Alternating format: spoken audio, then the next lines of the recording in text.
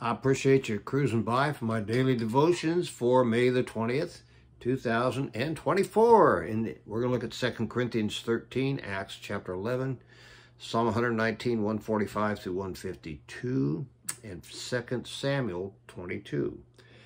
In the 12th chapter of 2 Corinthians, Paul talked about his thorn in the flesh.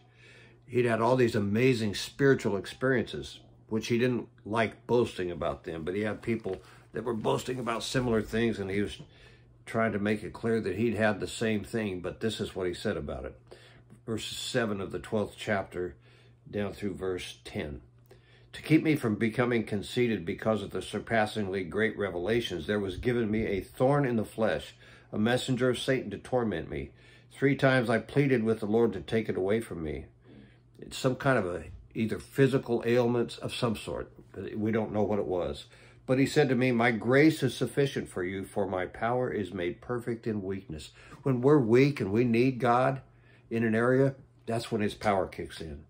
Therefore, I will boast all, the more gladly about my weaknesses, so that Christ's may, power may rest on me. That is why, for Christ's sake, I take delight in weaknesses and insults and hardships and persecutions, in difficulties, for when I am weak, then I am strong. When I'm weak and I admit it, God's power kicks in. Wow. We need to hang on to that and admit where we're weak. And God will empower those things. There's all kinds of examples I could give you about that in my life over the 75 years that I've been stumbling along through life and on planet Earth. You know what I mean? Let's pray and we'll jump into the word for today. Father, speak to us with your word. Crawl inside our lives with the power of the Holy Spirit and make changes. Make us your people your way, I pray. In Jesus' name, amen. 13th chapter of First Corinthians, Second Corinthians. Then tomorrow we'll jump into Galatians. Great book, great uh, uh, letter. This will be my third visit to you. Every matter must be established by the testimony of two or three witnesses.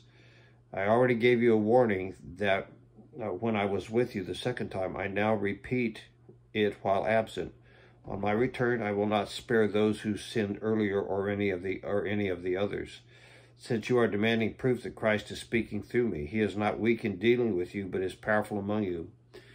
For to be sure, he was crucified in weakness, yet lives by God's power. Likewise, we are weak in him, but by God's power we live with him to serve you. Examine yourselves to see whether you are in the faith. Test yourselves. Do not do you not realize that Christ Jesus is in you, unless, of course, you fail the test. And I trust that you will discover that you have not failed the test. Now we pray to God that you will not be that you will not do anything wrong. Not that people will see that we have stood the not that people will see that we have stood the test, but that you will do what is right even though we may seem to have failed. For we cannot do anything against the truth, but only for the truth. We are glad whenever you are weak, but you are strong, and our prayer is for your perfection. This is why I write these things when I am absent, so that when I come, I may not have to be harsh in my use of authority. Authority the Lord gave me for building you up, not for tearing you down. Christian authority builds up, it doesn't tear down. Ah, that's, that's so important. Finally, brothers, goodbye. Aim for perfection. Listen to my appeal. Be of one mind. Live in peace. And the God of love and peace will be with you. Greet one another with a holy kiss. All the saints, saints send their greetings.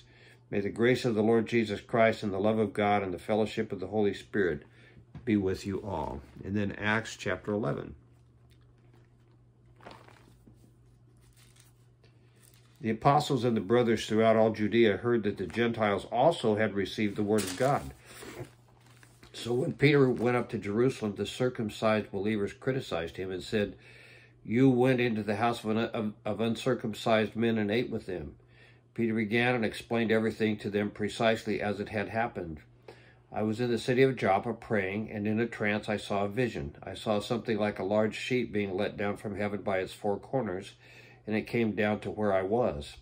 I looked into it, saw four-footed animals of the earth, wild beasts, reptiles, birds of the air. Then I heard a voice telling me, Go, go up, Peter, kill and eat. I replied, Surely not, Lord. Nothing impure or unclean has ever entered my mouth. The voice spoke from heaven a second time, Do not call anything impure that God has made clean. This happened three times, and then it was all pulled up to heaven again.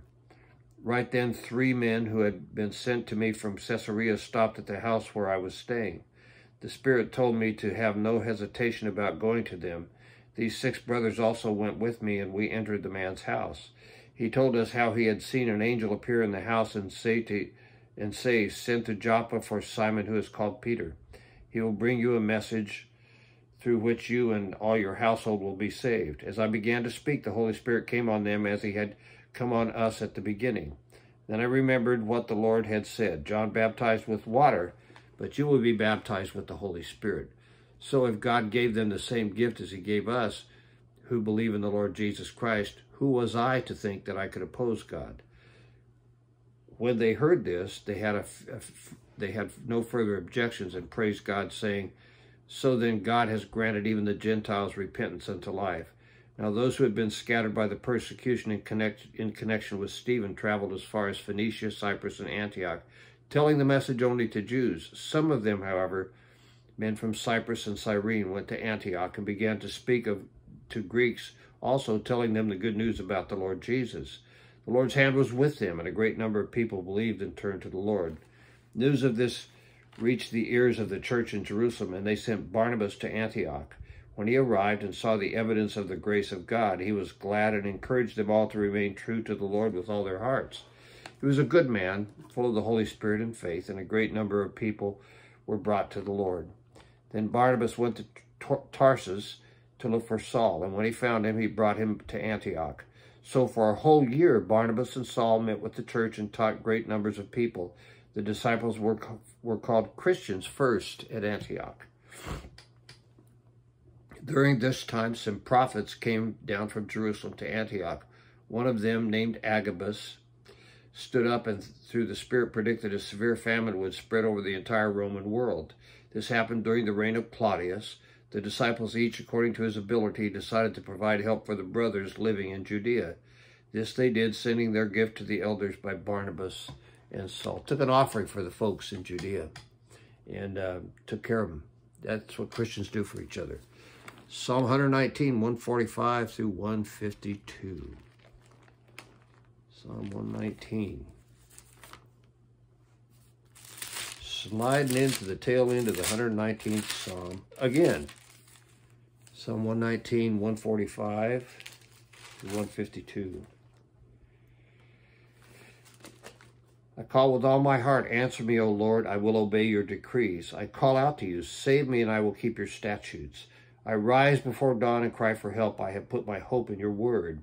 My eyes stay open through the watches of the night that I may meditate on your promises. Hear my voice in accordance with your love. Preserve my life, O Lord, according to your laws.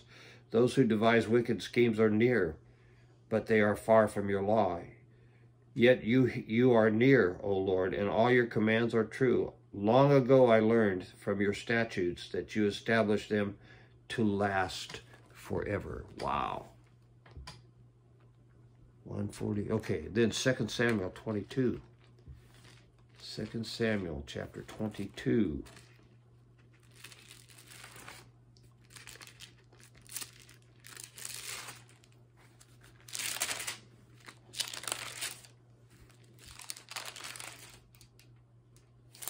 This is David's song of praise. David sang to the Lord in the words of this song, the words of this song when the Lord delivered him from the hand of all his enemies and from the hand of Saul. He said, The Lord is my rock, my fortress, and my deliverer.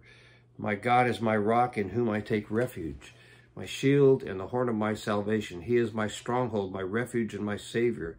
From violent men you save me. I call to the Lord who is worthy of praise, and I am saved from my enemies. The waves of death swirled around me. The torrents of destruction overwhelmed me. The cords of the grave coiled around me. The snares of death confronted me.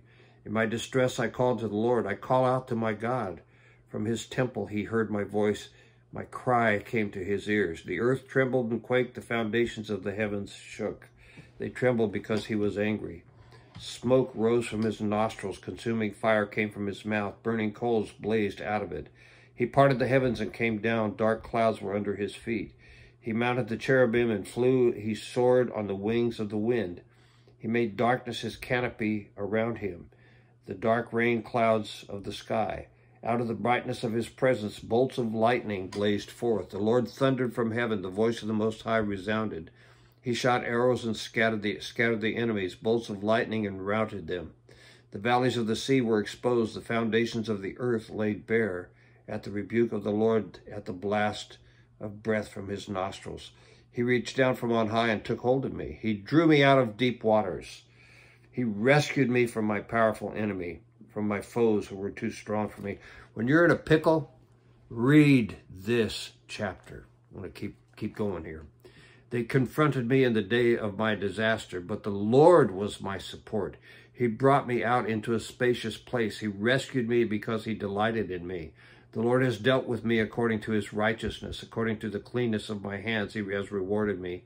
I have kept the ways of the Lord. I have not done evil by turning from God.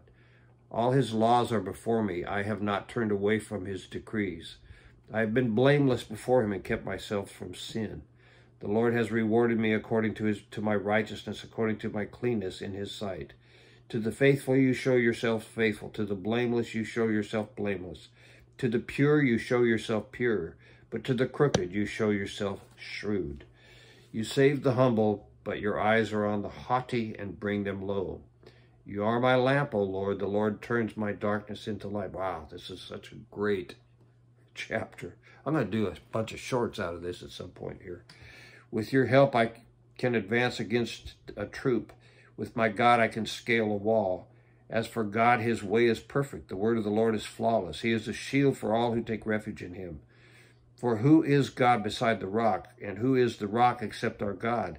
It is God who arms me with strength and makes my way perfect. He makes my feet like the feet of a deer. He enables me to stand on the heights. He trains my hands for battle. My arms can bend a bow of bronze. You give me your shield of victory. You stoop down to make me great. You broadened the path beneath me so that my ankles do not turn. I pursued my enemies and crushed them. I did not turn back till they were destroyed. I crushed them completely and they could not rise. They fell beneath my feet. You armed me with strength for the battle. You made my adversaries bow at my feet. You made my enemies turn their back in flight, backs in flight. I, and I destroyed my foes. They cried for help, but there was no one to save them. To the Lord, to the Lord, but he did not answer. I beat them as fine as the dust of the earth. I pounded and trampled them like mud in the streets. You have delivered me from attacks, the attacks of my people, and have preserved me as the head of nations. People I did not know are subject to me. And foreigners come cringing to me as soon as they hear me. They obey me. They all lose heart, and they are they come trembling from their strongholds. The Lord lives. Praise be to my rock. Exalted be my God. Be God, the rock of my, save, my Savior. He is the God who avenges me, who puts the nations under me. He sets me free from my enemies. You exalted me over my foes. From violent men you rescued me. Therefore I will praise you, O Lord, among the nations, and I will sing praises to your name.